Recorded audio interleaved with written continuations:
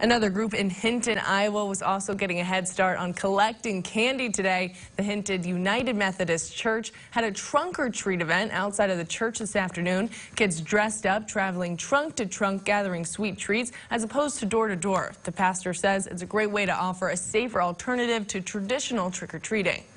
It keeps everybody in one place and uh, keeps them safe and under supervision, so it's a good way for us to have fun.